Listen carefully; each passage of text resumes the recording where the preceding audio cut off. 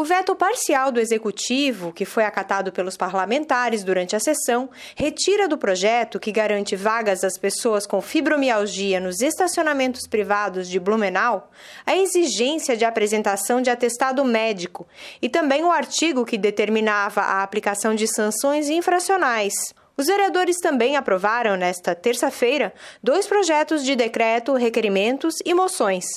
Entre os assuntos dos pronunciamentos feitos na tribuna esteve a implantação do sistema de área azul na região da Vila Nova. Fomos procurados por comerciantes daquela região, assim como outros vereadores, questionando a falta de diálogo e a implantação desmedida de vagas que inviabilizam o atual acesso aos estacionamentos privados desses estabelecimentos. Então, alguns outros vereadores já entraram em contato com a Secretaria de Planejamento, então a gente faz esse apontamento para que exista, sim, uma conversa, caso a caso, até porque a maioria desses estabelecimentos já estão consolidados há várias décadas décadas nessa região e a gente não pode ter simplesmente uma ação desmedida que não conversa com a comunidade. Ao mesmo tempo, trouxe o apontamento da rua Humberto Bader, na região do Salto do Norte, uma via pequena, uma via residencial próximo do terminal do aterro, que já tem sofrido com alagamentos há muitos anos e a comunidade espera que a gente tenha uma melhoria consistente no sistema de drenagem dessa via que é pequena, mas que por conta dos alagamentos os moradores não conseguem sair de suas casas, mesmo com pouca chuva. Nós falamos da nossa atividade junto aos diversos bairros da nossa cidade, prestando conta de todos os bairros que a gente tem percorrido,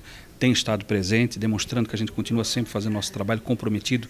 né, com todos os cantinhos da nossa cidade, ouvindo a população, em contato permanente, estando presente no meio do povo e onde o povo está sempre. Né, mas também fizemos outras cobranças, falamos novamente sobre o problema das obras paralisadas em Blumenau, obras de Plano Mil, né, o, o descaso do governo do estado, o atual governador até agora não disse a que veio, né? É, saiu o governador Moisés deixando essa herança do Plano Mil e já estamos aí em julho né, já é, passando da metade do ano e o atual governador Jorginho, né, infelizmente, não dá respostas ou satisfação com relação à continuidade das obras. E o vereador Ailton de Souza, o Ito, utilizou a tribuna após retornar de licença de saúde de 30 dias. Eu trouxe é, três assuntos importantes. É, um dos primeiros assuntos é a respeito da denúncia que fiz no, no TCE das entidades empresariais que estavam recebendo desde 2011 recursos irregulares, conforme é, o acatamento do Tribunal de Contas, vão abrir uma, uma auditoria e investigar realmente esses recursos que estavam recebendo indevidamente. Espero que seja punido e devolvam aos cofres públicos esse recurso. Também é,